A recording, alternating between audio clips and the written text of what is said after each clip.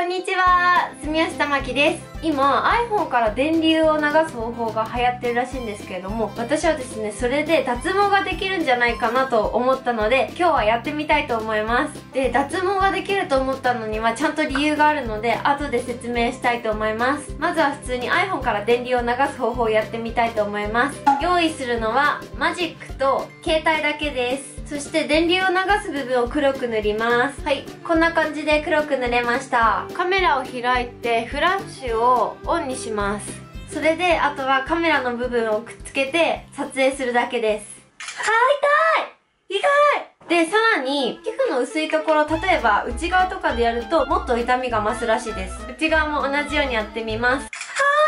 あーほんとだ！内側の方が痛いかも。痛いちなみにこれは黒い部分が iPhone のフラッシュの光を吸収して起こるそうです。それで私は脱毛してるんですけどその脱毛の種類が光脱毛という種類です。光脱毛っていうのは毛の黒いのに反応して光が毛のところに集まってきて毛がバーンと燃えるっていう仕組みを使ってるんですけど今やった iPhone のフラッシュのやつに原理が似てるなと思ったので脱毛できるんじゃないかなと思ったので私の体を使って脱毛してみたいと思います。で実際毛が抜けるまでにはは2、3週間かかるものなので、それが本当に脱毛できてるかどうかわかんないんですけど、とりあえず毛に反応してくれれば脱毛できるんじゃないかなと思うので、毛に反応するかを確かめたいと思います。で、私はもう結構脱毛してしまって、毛がない状態なので、眉毛で実験してみます。で、今ちょっと眉毛描いてる状態なので、これをまず落とします。これで落とせました。ここに光を当てて、もし痛みが走れば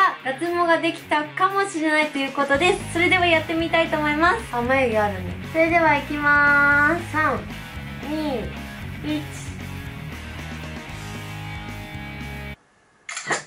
痛い。なんかねできそうですね。できそうなんですけど今実際結構伸びてる状態じゃないですか。この反ってる部分を脱毛したいんでこの反ってる部分に対して反応するか当ててみます。いきまーす。あれ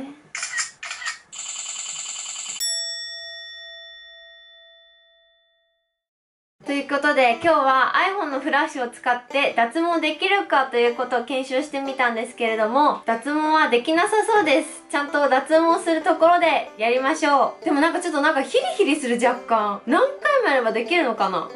毛がある黒い部分ではできたので毛があるところには痛みが走るっぽいですもしかしたらヒゲが濃い人とかはできるかもしれないのでもしヒゲが濃い人がいたらやってみてください。で私に教えてくれるととても嬉しいです。では今日も見てくれてありがとうございました。また次の動画でお会いしましょう。バイバーイ。